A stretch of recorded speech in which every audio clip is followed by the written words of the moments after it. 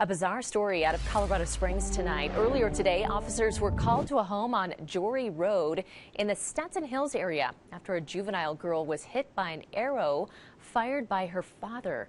The girl had to be airlifted to a hospital in Denver for specialized treatment, though she is expected to be okay. As a result of the incident, police issued arrest and issued an arrest of Dane Sauer on a charge of child abuse.